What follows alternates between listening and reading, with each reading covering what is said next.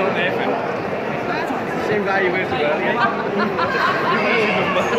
you were even